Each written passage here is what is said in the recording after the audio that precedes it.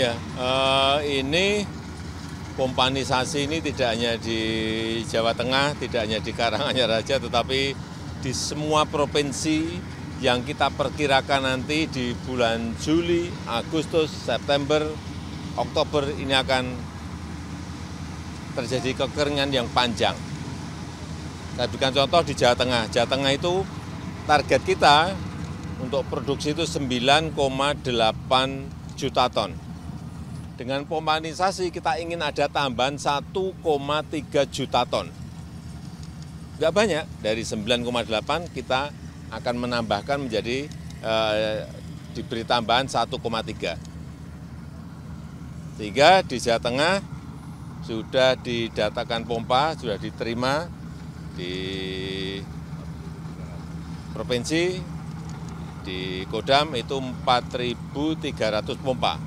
Baik yang PK-nya delapan setengah PK maupun yang 18 PK, seperti yang ada di sini. Ya, kita harapkan ini uh, terjadinya kekeringan panjang yang kita uh, sudah perkirakan lewat BMKG ini bisa ditutup dengan pengelolaan air seperti ini. Water management sangat penting sekali. Ya.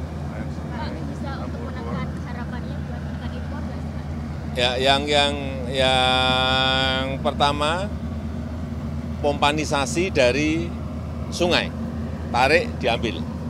Yang kedua pompanisasi dari air tanah. Yang ketiga tadi yang kita lihat di uh, Klaten, dari apa? Sungai masuk ke irigasi teknis yang ada. Jadi beda-beda. Dan juga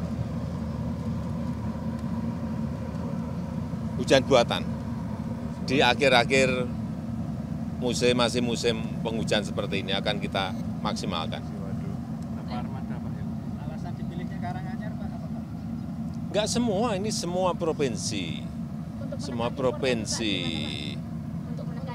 Ya ini dalam rangka ke sana, dalam rangka agar impor kita tidak semakin membesar.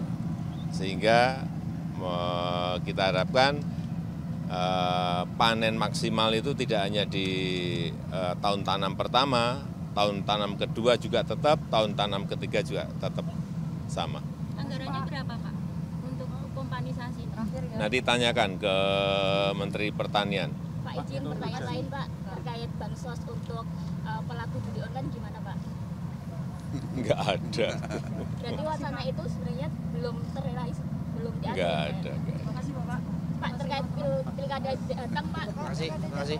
Pilkada datang pilkada Hmm? Jateng Pak. Iya Pak. Arahan untuk relawan Hmm? Apa? Arahan relawan untuk pilkada Jateng Pak. Pilkada Jateng tanyakan ke partai politik, ke parpol. Ya.